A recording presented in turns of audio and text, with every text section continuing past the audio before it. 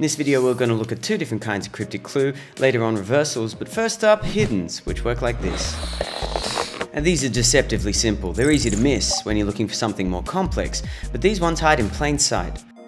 Take this example, plane wing to nosedive into part of London. Now as we know from the previous videos in this series, which if you haven't watched, please do go back and have a look at them because this will all make a lot more sense. Charades will ask you to find substitutions for words, homophones require you to find different spellings, and anagrams ask you to rearrange letters. Uh, these ones aren't quite as involved. The answer to this is there. It's hidden.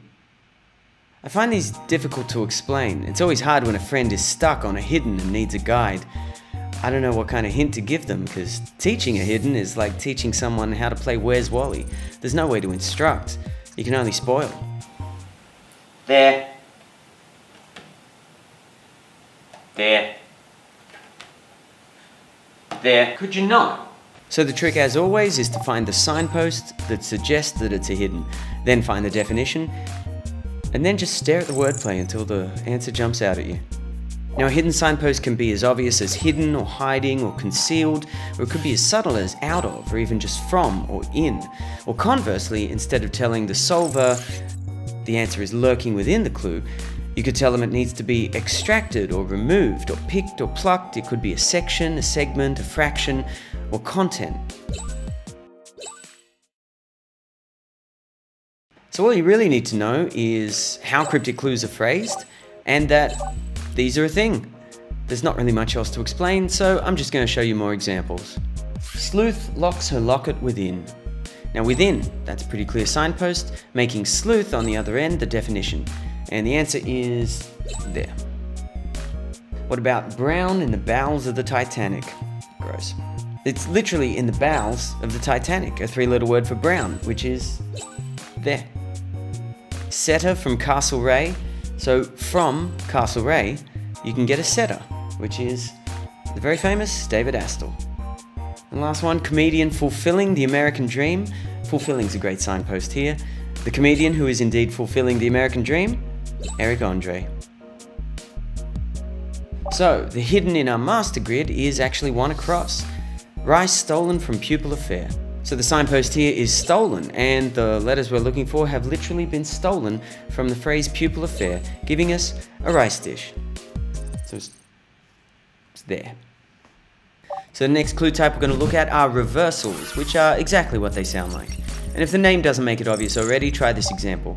Upending desserts when anxious.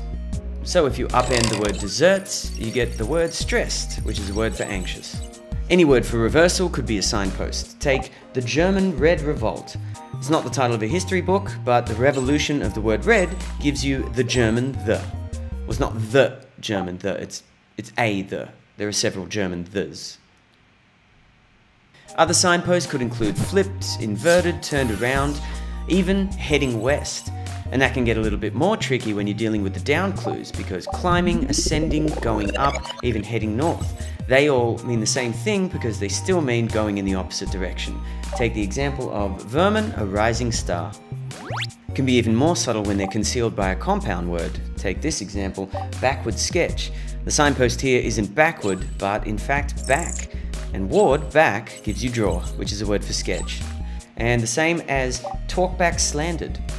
This one's a little trickier. Another word for talk is deliver. Spell that back, and you get reviled. So going to our master grid, we've got 13 down, which is where the reversal is. With turn around given at the end, we know that quitters must be the literal, and we know that it starts with an R. So just look until you see it. it it's there. It's resignees. I had to include a reversal, this was the only place to do it. It's a bit forced. Now finding these contained within a single word or phrase without any letters overlapping to other words is incredibly rare, which is why they're very often paired up with hiddens, and why we're looking at both of them together now. Since that wasn't the best example, here are some better ones.